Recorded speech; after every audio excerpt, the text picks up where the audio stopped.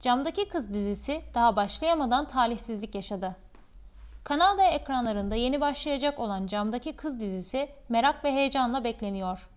Gülsera Budayıcıoğlu'nun aynı isimli romanından uyarlanan gerçek bir aşk hikayesinin konu alındığı Camdaki Kız hem hikayesi hem oyuncu kadrosu hem de yaydığı hissiyat ile şimdiden dikkatleri çekti. Dizinin güçlü bir hikaye ve başarılı oyuncuları ile gümbür gümbür geldiği bir atmosferi var. Ancak bu durumu bozan büyük bir talihsizlik de yaşandı.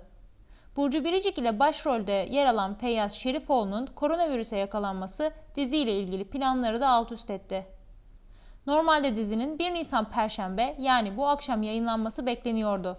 Zira Kanal D stratejik bir karar alarak TRT1'in Bir Zamanlar Kıbrıs dizisiyle aynı gün camdaki kızı başlatacak ve izleyicilerin bir bölümünü kendisine çekmeye çalışacaktı.